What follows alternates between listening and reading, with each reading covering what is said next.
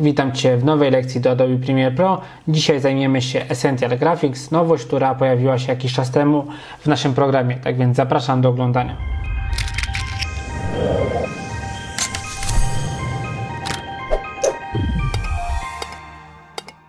A wstępnie powiem, że Essential Graphics służy jakby niejako do dodawania tytułów, kształtów do, naszej, do naszego projektu. Wcześniej robiła to tytularka, czyli polecenie New Title.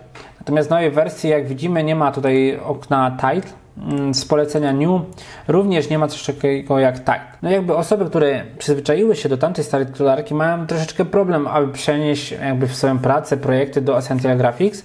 Natomiast ta stara tytularka nadal znajduje się w naszym programie. Zmieniło ona, zmieniła tylko ona jakby miejsce, gdzie się znajduje. Aby ją wywołać, wybieramy polecenie File, New i tutaj Legacy Title. W ten oto sposób mamy dostęp do starej tytularki. Jak widzimy, pojawiła nam się okno Title. Zamykam ją.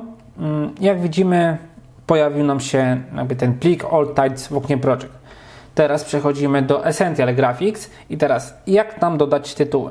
Otóż najprostszy sposób, w zasadzie są, to są wszystkie proste sposoby. Pierwszy, pierwsza metoda, która pozwoli nam dodać tytuł, to polecenie Type Tool wywołane klawiszem T na klawiaturze, a następnie klikając w oknie Program na obszar roboczy, tam gdzie znajduje się nasze wideo.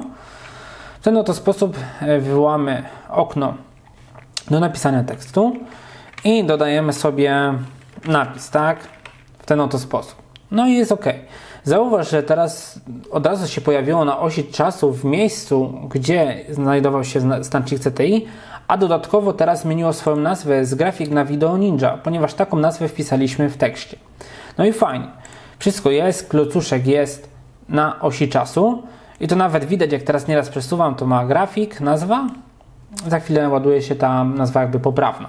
Fajnie, bo można szybko na osi czasu zidentyfikować, co dodaliśmy w tym danym miejscu. No, oczywiście jest podgląd, ale jest to jakieś tam ułatwienie. Zauważ proszę, że w oknie Project nie ma żadnego pliku, yy, tak jak w starej tytularce. Znajduje się ona tylko na osi czasu. I teraz, jeżeli chodzi o edycję, no bo jak widzimy, no nic spektakularnego nie, się nie stało, no bo po prostu wpisaliśmy tylko tekst, tak?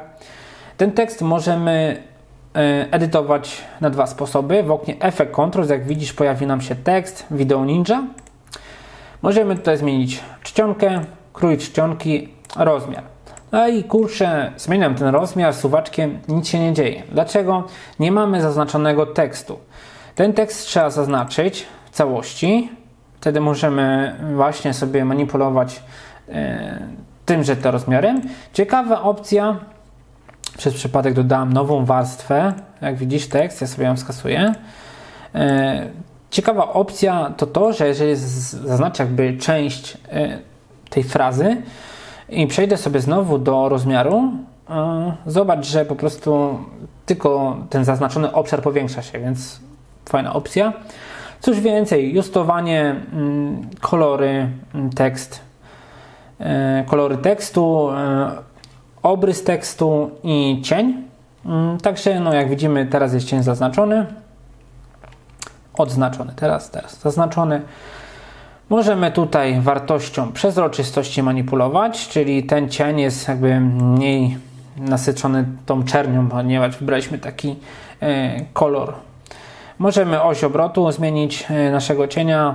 Możemy jakby odległość od naszego mm, napisu głównego zmienić. No i oczywiście również jakby takie rozmycie.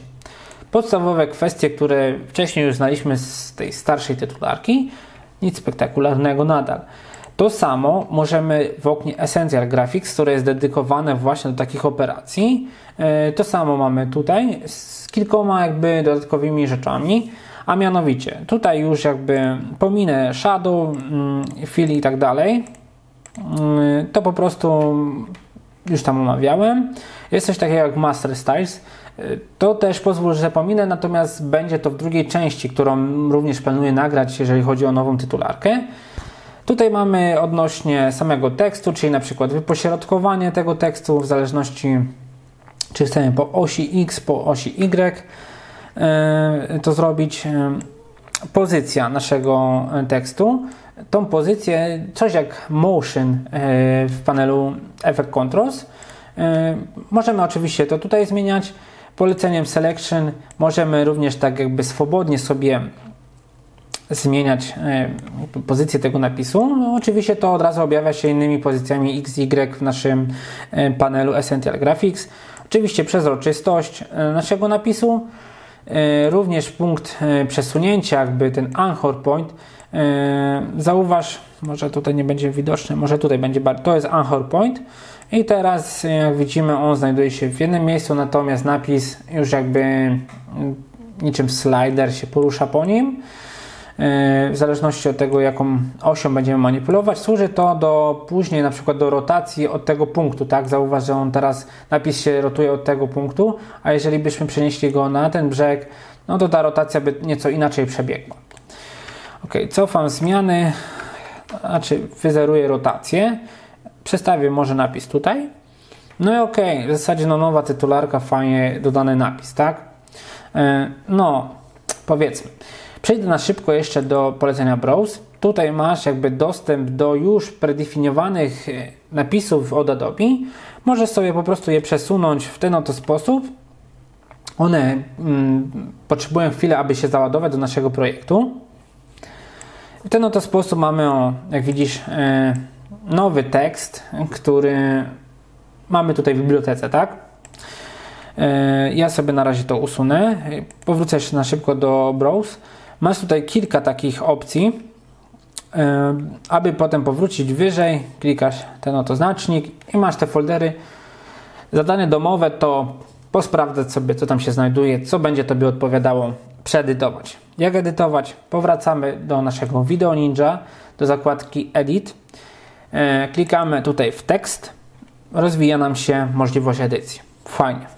Przechodzimy do kolejnej opcji, a mianowicie przejdziemy do opcji dodania nowej warstwy, niczym w Photoshopie. Klikam New Layer, klikam e, no, tekst wiadomo, wertykalny tekst wiadomo, prostokąt, elipsa albo na przykład jakiś obrazek z pliku, tak? E, wybiorę sobie prostokąt. Z prostokątem jest tak, że teraz on się, on dodał jako warstwa e, właśnie tutaj, tak, no bo musieliśmy wskaźnikiem CTI najechać. Natomiast jeżeli przesuniemy go w inne miejsce, on nam przesłoni napis. Ja pozwolę sobie go na razie tu powiększyć za pomocą jakby tych kotwic swobodnie, tak, e, w ten oto sposób. I jak to jest w warstwach, wyższa warstwa ma większy priorytet, przez to przesłania te niższe. Lewym przyciskiem myszy trzymając przesuwam sobie na dół. W ten oto sposób przesunęliśmy nasz shape, nasz kształt na dół. Ja sobie chcę tu zmienić e, przezroczystość, no mniej więcej na taką wartość. Co więcej, no, pozycja, obrót, tak samo jak w tekście nie będę Cię zanudzał, bo to są trywialne rzeczy. E, coś takiego jak skala tutaj, widzisz, również można zmieniać. Fajnie, bo akurat ta skala zmienia się jakby w sposób proporcjonalny, tak? E, Ctrl Z, zresztą nie sprowadzi to dużo zmiany, mniej więcej tak. Jeżeli oznaczymy sobie coś takiego, no to będziemy mogli tutaj sobie tą skalę powiększać e, po prostu nie mm, tak? Połączymy w ten sposób, mamy proporcjonalnie, ale oczywiście za pomocą polecenia Selection, klawisz V na klawiaturze, możemy sobie dowolnie ten kształt jakby modelować. Ok, zauważ proszę, że mamy tutaj dwie warstwy, natomiast one są jednym jakby plikiem na osi czasu. I teraz, jeżeli zaznaczymy sobie ten plik, y, Shift plus D, możemy dodać sobie, mm, wyciszę, przepraszam, tutaj ten napis, on będzie się pojawiał y, i znikał z naszym kształtem, tak? Bo to jest jeden mm, jakby fizycznie, jeden fizycznie, jedna fizyczna rzecz, tak?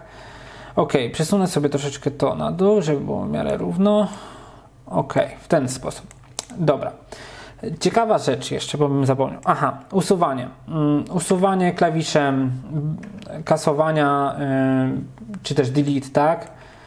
Y, w ten oto sposób. Jeżeli tutaj dojdziemy i będziemy chcieli sobie teraz właśnie klawiszem kasowania tekstu, nie skasujemy tego, musimy przejść do Type Tool, a następnie dodać tutaj znacznik aby on był, czyli taki jakby czerwony kształt objawia nam, że jesteśmy w trybie edycji i tutaj możemy ten tekst y, y, edytować.